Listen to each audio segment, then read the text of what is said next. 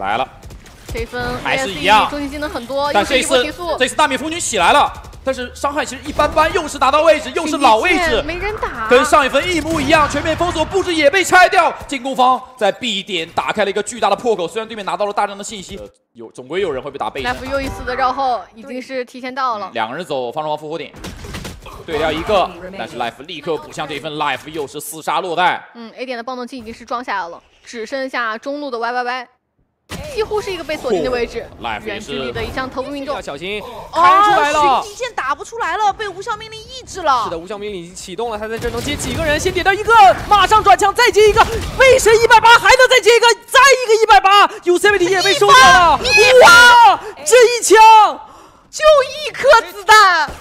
字母哥。So today we're going to tackle our final team and talk about how attacking Soul Esports can win Masters Tokyo. Now later today as well there will be a video about my pick'ems for uh, at least the group stages and uh, talking about you know what I think might happen later on. Um, but yeah, we got our picture here of someone smashing a keyboard to represent uh, HMFI. Uh, and let's take a look at the players, shall we? Some great names in here. Bunt, I think, is one of my favorite names of any. I don't know what it is about the Chinese players, but they always have the best names. And Bunt is definitely a top tier name. Of course, then we have HMFI ODZJC9Z7. Um, a name so long that I've had to make the little, uh, you know, photograph of the of the unknown man there a bit smaller to fit it all on.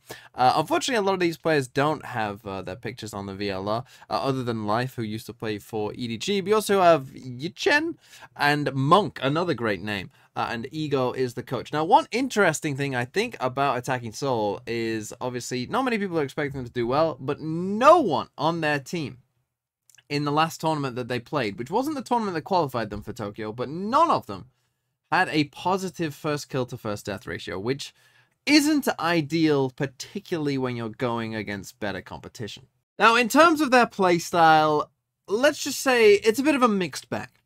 Some rounds will be quite nice, like this one, where they have a, a, bit of a cool idea. They're on the defensive side here of Bind, and they're playing against EDG. This is actually a game where they beat EDG uh, fairly recently, and so they're on the defensive side here on Bind. And as we play this round forward, what you'll see is that uh, EDG, they're going to uh, basically go for a straight B hit, and you'll see here that they initially start to contest towards long. Okay, so that's that's kind of where they are contesting towards long, but then uh, as the smoke fades here, they they decide to go away from that, and this flash comes in, and then they decide, okay, we're not going to contest this then, and instead we're going to contest hookah, right? And these two on A have heard absolutely nothing, but just take a look at this cool idea that they're about to pull off, because as uh, Kangkang gets himself into hookah just here, what we're about to see is they're about to take the TP distract Kangkang, and these two are going to push up behind him. It's a really, really nice little idea. So someone's going to take the TP, Kangkang's going to turn around. These two are going to push up behind it and manage to find that kill whilst they smoke off towards long as well, right? So we've got quite a few different moving parts here, right? Our Brimmer smoked this off. We got our players on the other side of the map who are taking the TP. These two are pushing Hookah together. You know, this is kind of like a, a team thing that has come together pretty quickly as a plan. And as we'll see, it goes pretty well for them. 一波前顶的动向，空的烟幕再落，前面有技能置换，只是像守防麒麟窗口亏的。嗯，对抱团清了一下康康的一个位置，然后 Monk 同时也是就收掉了康康康的一个人头。嗯，两边其实人数是有一个互换啊。对，但是爆能器其实偏向于 B 场，站住之后是有更多的转点机会的。是的，刚才霹雳之火也是探了一下，外面还 B 场还是会有一个这个进攻方的人员存在。对，但注意这个 B 二楼外是有队员进行直断的，有一些绕后的机会啊。是的。狂潮封了一下复活点的一个方向，啊、现在把点内完全的包在里面。但是你第一时间的话，EDG 的人也是不太好进攻。哎，开枪怪了，但是跑打并没有能，并没有能够致死。Life 点一人之后，球球倒地，近点得大家加快脚步，但是吃了一个闪光的致盲效果，点的一波快速的混战，反而是由 ASE 清空了最后人数的压力。是的。But now let's come to uh, a different map, Fracture here again against EDG, where they're on the attacking side this time, attacking uh, Soul Esports. And initially in this round, we're already kind of you know 30 seconds in. They've tried to come towards B. You can see all the smokes here on this on this B site. But what's happened is EDG have actually pushed in towards uh, and down towards B main and have managed to find the first kill here. So it's actually a 5v4 uh, for EDG now. So attacking Soul are down a player. But again, I feel like when you think of Chinese teams, you think, you know, everything is chaos, right? Everything is kind of, you know, like instinct, chaos, mechanics. That's how they play. But here you'll see that they can, you know, show control. They can, you know, kind of have ideas. For instance, HMFI gets himself up in towards tower here, and Life goes exploring back towards this A site. Okay, and you'll see EDG, uh, you know, they got the B main control. They start to walk back as well. And uh, in a second, Life, who is a, a very good player in his own right, hits a, a pretty nice shot there on Kangkang, and we end up in a 4v4. And now, probably, again, when you're thinking of Chinese Valorant, you're probably thinking, yeah, they're just going to run into the site and they're just going to, you know, plant the spike, and it's going to be chaos. Uh, but no, right? They they pause, they wait, they understand that, okay, probably these rotates are coming in. They've left HMFI over here towards this B site, and he's going to realize this is a completely free site, so they decide to come back instead. And it's this kind of you know, patience that here you get a good example that they can do it, right? They can do exactly that. Uh, we then actually pop a KO for EDG, expecting this A hit to come in, but as we can see, they actually do just rotate. But again, they leave someone here on the A side, right? They leave life to come back and be this backstab lurk, lurk again. And so again, showing kind of under that understanding. They then have HMFI defend the site, uh, and he manages to find uh, that kill there on Smoggy. Uh, and then you even get this uh, little peek out from Bunt on the different angle here. And they play this very well, right? We end up in a 4v2. They just about get the spike down. Again, they protect the spike. They find that kill. We end up in a 3v1. You know, everyone's here now and just again, take a look at how they play this 3v1. It's going to be we're waiting for a breach stun. We stun. We all three swing together. You know, really nice little stuff here from uh, Attacking Soul. You know, take a look at that. There was no way they were ever going to lose that 3v1. But then, of course, there are the Chaos rounds. And let's come back to Bind for a round where EDG are actually on a save. Uh, this, again, is Attacking Soul uh, defending here on Bind. They're against a save.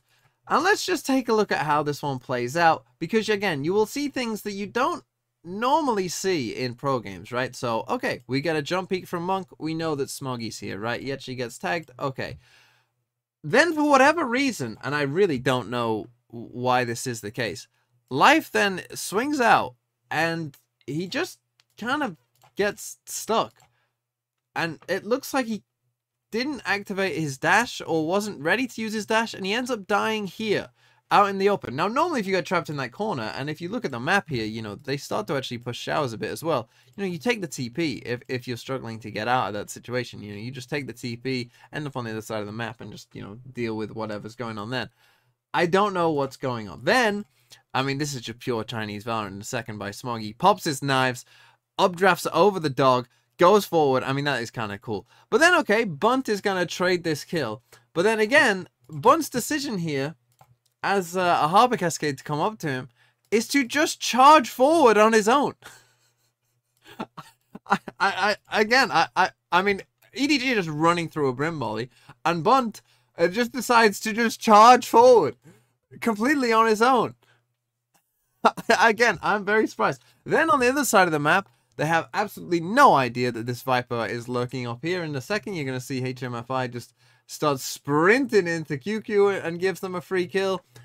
These rounds exist also in Attacking Soul's playbook, and uh, this one's going to take a bit of a while to close it out. But yes, this very much also can happen from time to time to Attacking Soul, perhaps more than others, where you're just you just see things that you don't normally see in most other pro games, and it can look yeah, really quite weird at times. 来去陈先林现在是慢速的摸到了 A 外啊，直接被康康接住。 Okay, but now let's take a look at some of their team stats. Uh, so their map score is actually pretty good. This is going back to the first tournament that qualified them for Master Tokyo and the most recent tournament that they played as well. And you can see they are a bit more of an attacking team than a defensive team. Um, and their overall win rates and their pistol win rates, though, aren't uh, too shabby. Now, their best maps, their map pool is kind of interesting. In fact, let's just go straight to their map pool. They have played Fracture and Haven an absolute ton, and they're pretty good at those maps. Lotus is another one where they're pretty good. Then they have a couple maps where it's kind of a bit meh, like Ascent and Pearl, where, you know, eh, it's not amazing. You look at some of like the attack weight rate win numbers on those maps, and it's like, whoa. Um, and then you've got like the split and the bind as well, where maybe it's not too good. So they seem to have like three good maps and four maps that are not good to like okay, maybe. Um, and when it comes to their team comps as well, you know, hey, Ascent and Haven, it's pretty meta. then they're pretty willing to go their own way, let's say. On Bind, they play double duelist KO Skye. Brim, like uh, the most aggressive comp you could potentially make uh, in Valorant, potentially. Uh, you know, on Split, they're playing this Killjoy, Omen, Breach Skye, like kind of weird as well. Uh, and yeah, you know, they're playing Sage on Fracture. They're pretty much the only team that I can think of that's playing Sage on Fracture at the moment. So yeah, there's quite a few things that might be a little weird. And when it comes to their agent picks as well, you can kind of tell that they aren't so much into the double controller meta that we've seen on quite a few different maps. Uh, that's not really their thing. Uh, they play more so initiators, you know, a lot of KO, a lot of Sova, a lot of Breach, right? Uh, a lot of Jett, an absolute ton of Jett. Not so much Viper. Uh, they did, you know, they did experiment a, a, tiny bit with Harbor, but not a, not a ton of Harbor either. Uh, you know, as we can kind of see by their bind comp, it's, you know, a lot of solo controller, a lot of sometimes double uh, duelist, sometimes, you know, double initiator, that kind of stuff. That's where they're going. So now to answer the question you're all wondering. How do Attacking Soul win Masters Tokyo? Well, they'll probably need a miracle. Let's be real. Uh, it's definitely going to need quite a few different things going their way. Maybe life just, you know, goes full god mode. I mean, that that's one potential. They, you know, they get shots like that from HMFI, you know, whilst he's fully blind. You know, this is the kind of thing that they're they're gonna need. Look at that sus boombot there, not not seeing how done. Uh, yeah, it's probably going to take a miracle, but hey, they did beat EDG. They have beaten EDG multiple times, so who knows? Maybe that's just saving strats since they qualified for Tokyo. Who knows? Maybe that's really what's been happening all along. 很绝望，全封锁是肯定要放置的。至于一波逼迫站位，正面的拼枪也是由 Monk 完成了最后的收头，也是恭喜 ASE 以二比零的比分战胜了 EDG。It always does.